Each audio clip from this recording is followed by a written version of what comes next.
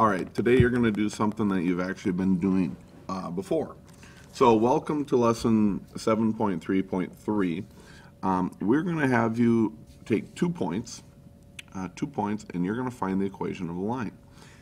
If you remember right, when you found the equation of a line on Khan Academy, you've already done this. And so this is simply a review for you on how to do this. Um, so I will walk through this quickly. That's not what I want. Let's just see if I can type here. There we go. All right, so I'm going to recopy down this problem, 1452.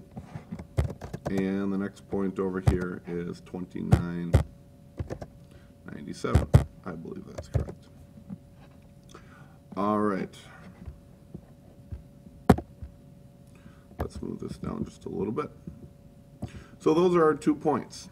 If you remember right, what we are trying to do is we're trying to fill in for y equals mx plus b.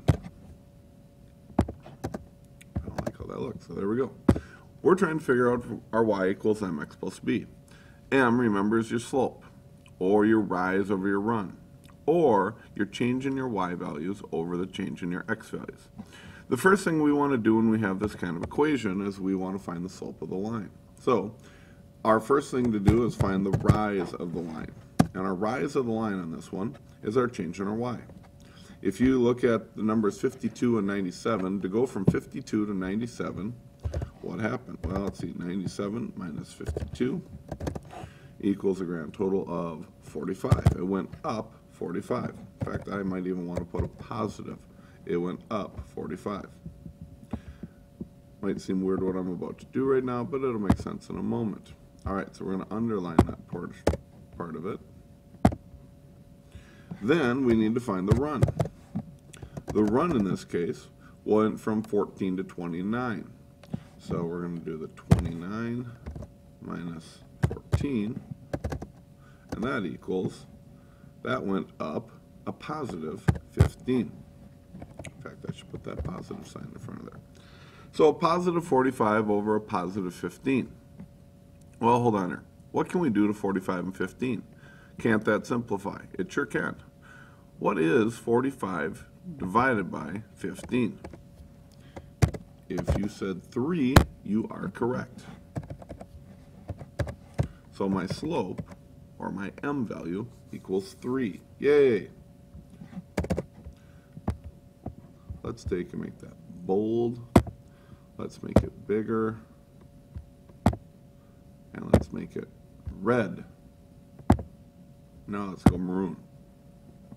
Come on, maroon. Thank you. There we go. Now, now that we have the slope, our next step is we need to find the y-intercept, the b. Well, in order to find the b, we have to plug in all the information we know. So, normally, remember, we're trying to get into the y equals mx plus b format. That's what we're trying to get our equation to be. But we know some information. For example, if I backtrack here, we know now that our slope is 3. And to match the color correctly, I'm going to put that back in maroon. I might even make it bold for you. But that's not all the information we know. Take a look up here. You might notice from up above here that I have a x, move that up just slightly. I have an x and a y coordinate right up here. You should know that your coordinate pairs come in xy coordinates. This one over here, same thing. This comes in 2997, comes in an xy coordinate. I could choose either one of these. I can choose the 2997 or I can choose the 1452. It does not matter. You'll get the same result no matter what. But as I go back down to here, now, I can plug in for my x value the number 14. Oh, it turned a nice little maroon for me there. That's nice. And I can plug in for my y value the 52. You might notice anytime I plug in for variables, I always like to use parentheses. I'll get rid of them here in a moment, but I like to do that just so I keep things straight. As I work this equation through, 52 remains on this side. And 3 times 14 is 42 plus b. As I subtract 42 from both sides, I get 10 equals b. All right, now that we got that, and let's lower that down one more. Let's make that a nice little bold color. Let's make that nice 36, just like the M was up above. And we'll give this one a nice color of a uh, light blue. There we go. There we go. So, my equation now reads like this. y equals 3x plus b. I hope that makes sense. I had told you earlier that it did not matter. Oh, my b. What kind of dork am I? B is 10. We just figured that out. So y equals 3x plus 10. Now, I had told you earlier it did not matter if I used the 1452 or the 2997. We get the same result. Let's prove that for a second. Don't just believe Mr. Anderson. Let's prove it. So, the 52 up here, which is my y value, would be 97. The x value would be 29. And let's see, this side remains 97. This side, let's see what that becomes. 3 times 29, if you have calculators out there, would be 87. As I subtract 87 from both sides, 97 minus 87 equals 10. Hey, funny, but I still get the b value to be a 10.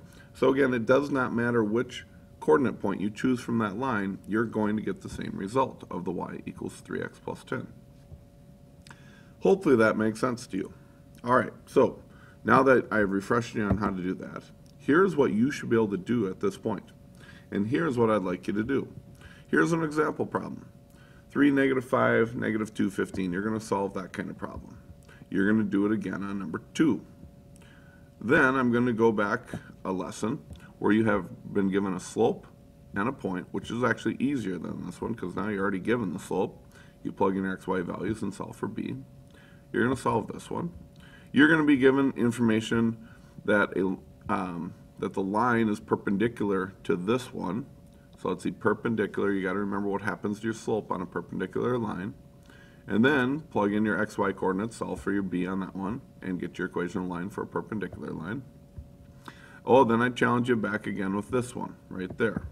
Do I have any more challenges? Nope, so that was five right there. So what you're going to do for me at home to make sure you can do this, and this will be very useful on your test as we're getting very close to test time now, is you're going to solve these five problems for me. One, two, three, four, five. So pause the video and finish up these, and we will see you tomorrow in class. Have a good night.